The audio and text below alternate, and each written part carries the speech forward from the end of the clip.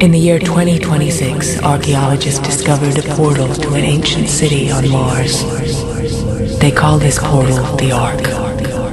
What happened to the civilization that built it? Do